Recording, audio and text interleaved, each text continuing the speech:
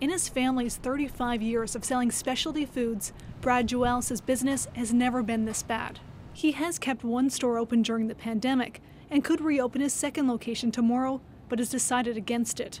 I won't have enough sales to justify paying someone and having to take care of rent. Like it's, it's just not enough. He's even warning other neighborhood businesses how discouraging it could be if they start back up. Some days it's pretty depressing uh, how much goes to the till. You'll you'll see, and then some days it picks up, and and and you you think, well, there's a chance. Ontario has given the green light to open more businesses, including retail stores with street access. Everybody is taking care of themselves.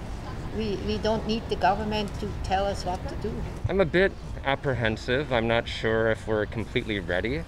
Um, I personally won't be going out. The province's top doctor signed off on the reopening, but is asking people to respect the rules. While there's things more available, it doesn't mean you have to go out.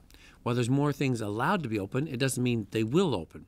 But some public health professionals think the reopening is premature without increased testing levels. Thinking about all the retail workers, all the service workers, there's serious occupational risk for all of these folks in, in this plan, and they should be tested at least weekly.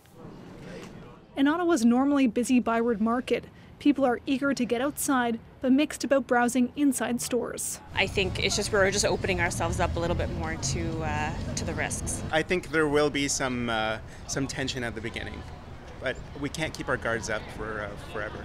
Joel just hopes this week brings more customers. I want to survive. My belief is is to fight or, or die fighting. But uh, I know that it's going to be a battle. A battle that he might not win at both of his stores. Ashley Burke, CBC News, Ottawa.